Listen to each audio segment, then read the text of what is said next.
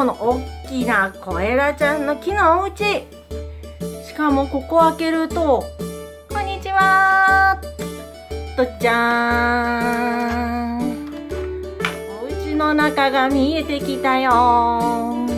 じゃん。ほらすごい。ででしかもこれ電池が入ってるから押すとわっ。光る。うわ。うわすごい。階段が。すごい。鍵盤になってる。ね。でしかもここエレベーターだから。あ。これこっちでも遊べるんだけどグリグリっとして。あれ？ちょっとここまた開けようか。せーのじゃん。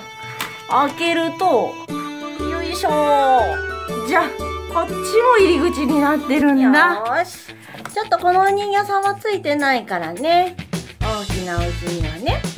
ちょっとこれ持ってたのを持ってくるよ。じゃあまずは上がって。トントントン。エレベーターに乗ります。上に上がります。じゃーん。屋上まで出てきた木の葉っぱの上の上だよ。ね。ほら。ここにはもし持ってたらベッド置いたり椅子とかあのテーブルとか持ってるお友達いたらここに並べてね。ね。でいろんなおもちゃで遊べるよね。それでは持ってるお人形さんで遊ぶよ。あ。ね。ペッパーピグのお母さんだよーし僕上上がってみようっと。いってって。よしエレベーター下ろして。僕乗れるかな？僕ちょっと大きいんだよね。よし上がります。エレベーターで上がってきたよ。おおドキンちゃんたちがすでにいるね。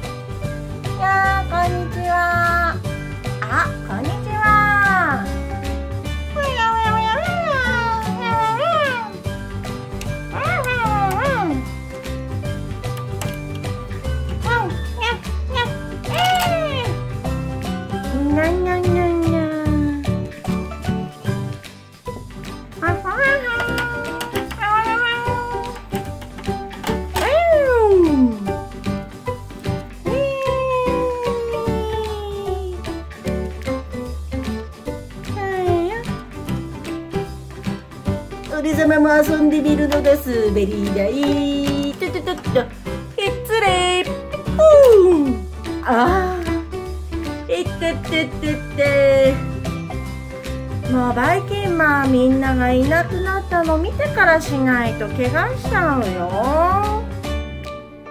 はいなのだ。ごめんなのだ。大丈夫だったかい？うん。よかったよかったあ。こうやってみんなもいろいろなごっこ遊びしようね。今度は何の遊びしようかな。ということでまた次の動画で待ってるよ。